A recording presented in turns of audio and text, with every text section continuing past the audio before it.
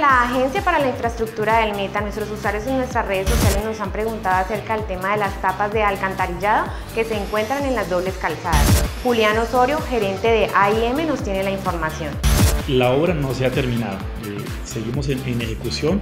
Lo que se habilitó es para mejorar la movilidad. Al finalizar la obra, el nivel va a ser el mismo en toda la calzada. A Julián Osorio le agradecemos por su oportuna respuesta. A todos nuestros usuarios les recordamos que a través de nuestras redes sociales nos pueden continuar escribiendo porque nosotros le tenemos su respuesta.